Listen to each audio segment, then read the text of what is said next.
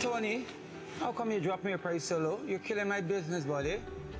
If I try to adjust my price like this, I will be losing all the time, man. Hey guys, listen.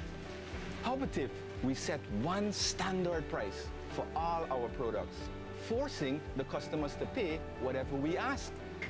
And when you think of it, we're the only three shop owners in this vicinity.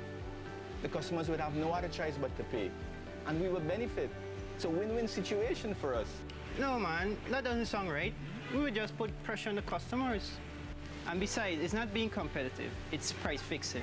And price fixing is illegal. I agree, you know.